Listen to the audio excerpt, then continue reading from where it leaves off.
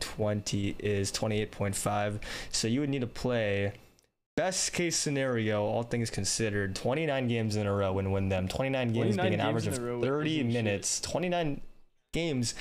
29 times 30 is an average of 870 minutes. Divide that by 60, and that's a 14 and a half hour stream. If all things go right, you win every single game, and minus the breaks. Matter of fact, let's include the breaks. Let's do No, no, um, don't, don't, don't include let's do 45 times uh, 30. Let's do that, and then divide that by 60. That is